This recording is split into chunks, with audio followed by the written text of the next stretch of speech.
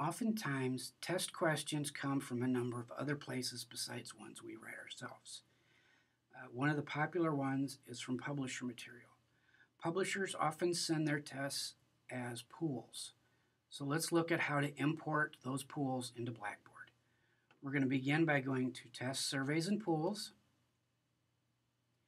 We're going to choose Pools. And we're going to choose Import Pool. We're then going to browse their, your computer and find the pool that you need, select it, and open. You're then going to hit Submit. And depending on the size of the pool, this can take a few minutes.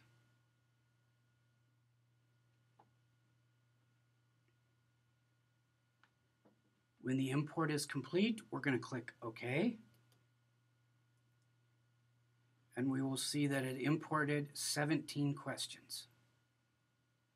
We can then reuse those questions to build assessments such as quizzes and tests.